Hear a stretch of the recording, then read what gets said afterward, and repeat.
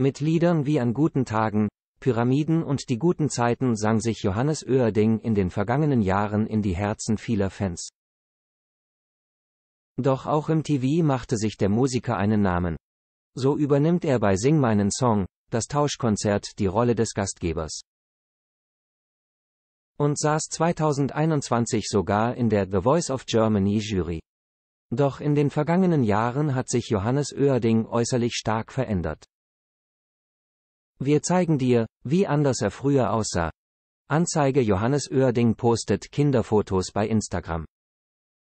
Immer wieder erfreut der gebürtige Münsteraner seine Instagram-Community mit süßen Erinnerungsfotos aus seiner Kindheit. So postete er anlässlich des Muttertages beispielsweise im vergangenen Mai einen Schnappschuss, auf dem er wohl noch ziemlich jung war. Auf dem Bild hält seine Mutter Elke ihn im Arm und die beiden lächeln in die Kamera. Dabei ist kaum zu übersehen, dass Johannes Oerding seiner Mama wie aus dem Gesicht geschnitten ist. Sowohl die Nase als auch das unverkennbare Lächeln scheint er von seiner Mutter vererbt bekommen zu haben. Die Liebe zur Musik entdeckte der Sänger offenbar schon sehr früh. Im Februar 2021 veröffentlichte er ein Video, das wohl während seiner Schulzeit entstanden ist. In dem Clip steht der junge Johannes Oerding mit einer Spielzeuggitarre auf der Bühne und synchronisiert dabei mit seinen Lippen den Song. Walking by Myself von Gary Moore. Schon als Kind schien sich der heute 41-Jährige richtig wohl dabei zu fühlen, im Rampenlicht zu stehen.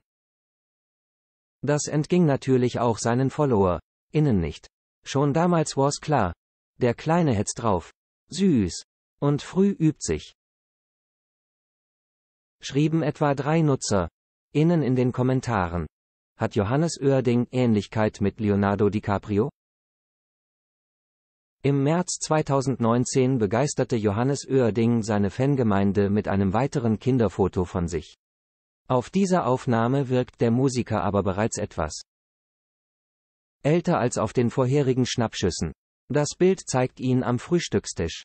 Seine Haare hat er dabei lässig zurückgegelt. Doch der Musiker wirkt auf dem Foto alles andere als glücklich. Er blickt gelangweilt in die Kamera und sieht ein wenig müde aus. In der Bildunterschrift darunter erklärte der an guten Tagen Interpret auch den Grund dafür. Ich war noch nie ein Frühaufsteher. Johannes Community war von diesem Schnappschuss jedenfalls hin und weg. Schon immer sehr süß. Und niedlicher Bengel.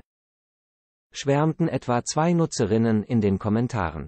Eine weitere Followerin findet sogar, dass der Sänger als Kind große Ähnlichkeit mit dem Hollywoodstar Leonardo DiCaprio hatte. Schaust ein bisschen aus wie Leonardo DiCaprio, notierte die Userin in den Kommentaren. Ein anderer Fan stimmte ihr da sofort zu. Das dachte ich mir auch sofort.